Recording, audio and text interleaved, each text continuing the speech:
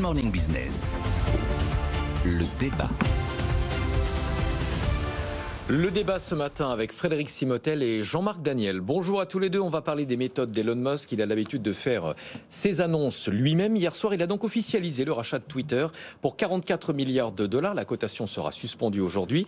Et euh, les premières décisions n'ont pas traîné. Il a tout de suite mis à la porte le patron précédent, le directeur financier et la responsable des affaires juridiques. Il précise également que Twitter ne peut pas être un endroit infernal ouvert à tous. Frédéric Simotel, c'est vraiment de la pure méthode Elon Musk. Oui, et puis c'est la saison 1 pour euh, Twitter et Elon Musk. On va maintenant passer à la saison 2, parce que ça a quand même été un sacré, euh, euh, sacré feuilleton à rebondissement, hein, ce rachat de Twitter. Et puis on voit tout le paradoxe du personnage, c'est lorsqu'on voit ses annonces. La raison pour laquelle j'ai acquis Twitter est qu'il est important pour l'avenir de la civilisation d'avoir une place publique numérique commune où un large éventail de croyances peut être débattu de manière saine, sans recourir à la violence. Donc voilà, et j'aime bien, je, je veux essayer d'aider l'humanité. Donc les annonceurs se sont dit oula, qu'est-ce qu'il va nous faire avec Twitter? Et dans un peu plus tard, il dit euh, fondamentalement, Twitter aspire à être la plateforme publicitaire la plus respectée du monde, qui renforce votre marque, qui s'adresse aux annonceurs et développe votre entreprise. Donc on voit cette ambiguïté dans laquelle aime bien, qu'aime bien cultiver euh, Elon Musk. C'est d'un côté, je vais être ouvert, vous allez voir ce que vous allez voir, et puis de l'autre, euh, j'oublie pas, c'est ça reste quand même du business. Oui, mais quand on voit Elon Musk arriver avec son lavabo dans les dans les locaux de Twitter, dire le télétravail, ça sert à bosser pour d'autres boîtes. Enfin, moi, il me fait pas rire, il me fait un peu peur, franchement, Elon Musk. Jean-Marc Daniel, quand vous le regardez, vous, avec votre regard d'économiste, vous, oui, oui, vous dites quoi? Alors d'abord, je, je, pense qu'il correspond un peu au portrait que faisait il y a très longtemps Schumpeter, l'entrepreneur, à partir de Krupp.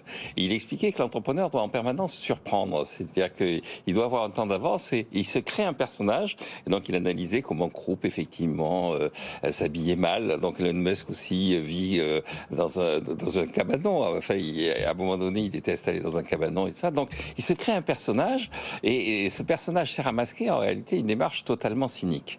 Et alors là, Elon Musk effectivement, il est assez profondément cynique. Et d'emblée, c'est-à-dire que euh, il est né en 1971, donc il est né en Afrique du Sud, à Pretoria, et euh, son père était sud-africain et sa mère canadienne. Et quand il a été en âge de faire son service militaire en Afrique du Sud, il a fait valoir que sa mère étant canadienne, en réalité, il n'était pas sud-africain, il était canadien, et il a, comme ça, plus ou moins, euh, d'après les autorités sud-africaines, déserté. Donc c'est quelqu'un qui a un sens de l'opportunisme, et d'autant plus qu'il a raconté après cette histoire en disant, mais en fait, c'était l'apartheid qui me révulsé. Et donc, si je n'ai pas voulu faire mon service militaire, c'était pour ne pas être complice d'un régime que je condamnais. Donc, il a une capacité en permanence à agir de façon totalement cynique, tout en réécrivant euh, une histoire euh, euh, pour expliquer son action. Je vais prendre un autre exemple. Cette année, il a annoncé qu'il abandonnait le projet Hyperloop. Mm. Donc, le projet Hyperloop, c'était de faire un train à très grande vitesse entre San Francisco et Los Angeles. Et on lui a dit, c'est pas au point. Il a dit, ah non, mais ça n'a jamais été au point. Mon objectif, c'était d'empêcher qu'un concurrent apparaisse dans les chemins de fer entre San Francisco et Los Angeles avec un TGV un peu à la chinoise, à la japonaise ou à la française.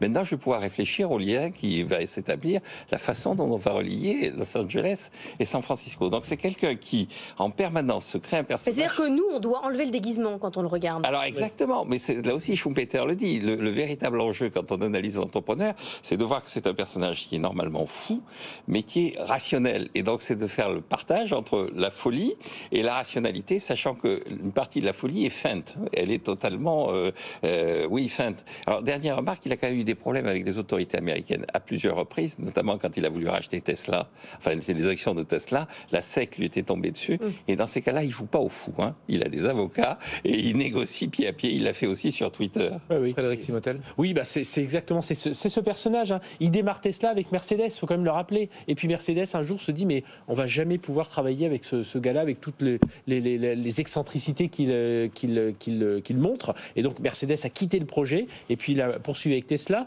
Pareil avec SpaceX. SpaceX, au départ, il se rapproche de la NASA. Il leur raconte qu'il va faire des fusées avec des lanceurs qui vont revenir sur Terre.